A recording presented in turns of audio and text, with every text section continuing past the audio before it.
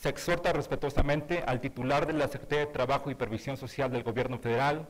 para que se implementen acciones para garantizar los derechos laborales de los trabajadores agrícolas, en donde se les incluya seguridad social, prestaciones de ley y un salario digno para ofrecer a sus familias una vida digna, oportunidad de crecer, educarse y mejorar su condición económica, intelectual y social. Además